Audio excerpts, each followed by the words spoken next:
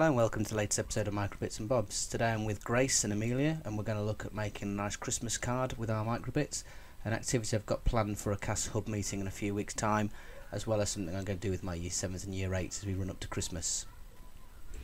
For this project I'm using PL9823F5 5mm program LEDs. They work just like your standard NeoPixel. However, the red and the green colours are reversed, so you just got to make sure you deal with that when you write the program for it.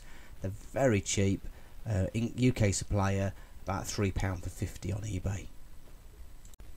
So now it's time for me to hand over to Amelia and Grace, who uh, filmed a little video on how to put together your Microbit Christmas card. Step one, you need to draw your Christmas card.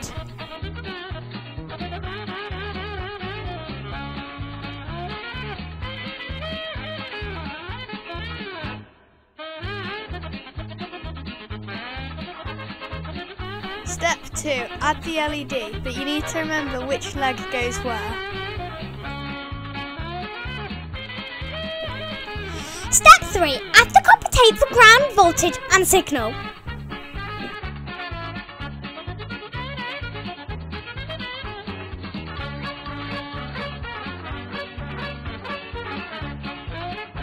Step 4. Stick the LED down onto the copper tape.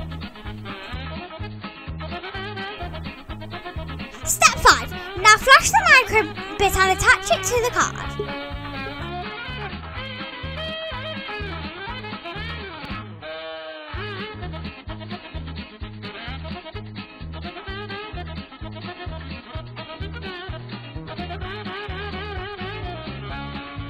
Thank you for watching.